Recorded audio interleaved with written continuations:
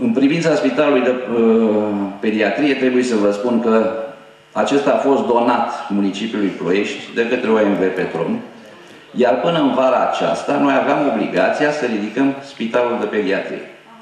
Nu s-a, nu s-a reușit acest lucru, pentru că toate formalitățile au durat foarte mult. Trebuie să transformi un monstru de sticlă în altceva, adaptabil vieții copiilor.